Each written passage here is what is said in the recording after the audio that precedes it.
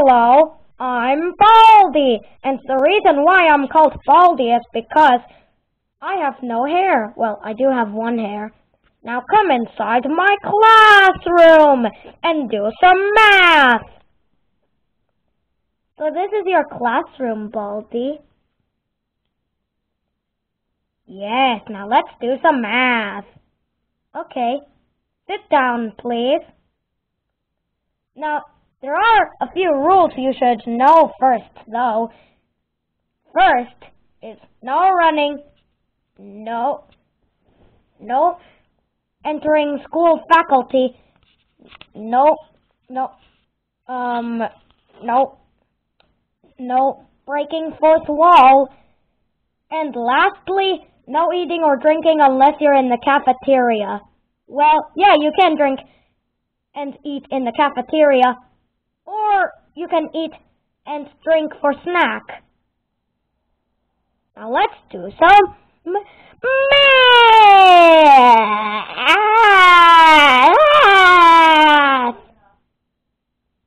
Now let's do some math. Okay? Let's do it. Let's do it, let's do it. Alright. Now, what is 6 plus 9?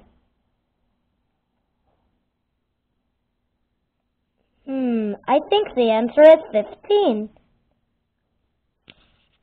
That is correct. Now let's do some other math. Ugh, oh my goodness. So let's do, I'll give you a prize.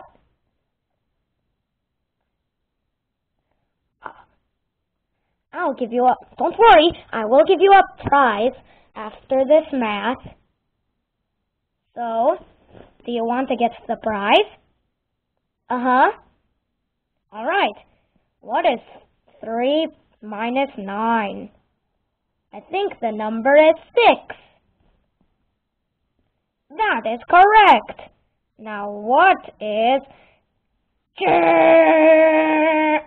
plus J equals? I don't know that. That has no answer. It's impossible to answer that. That's just gobbledygook.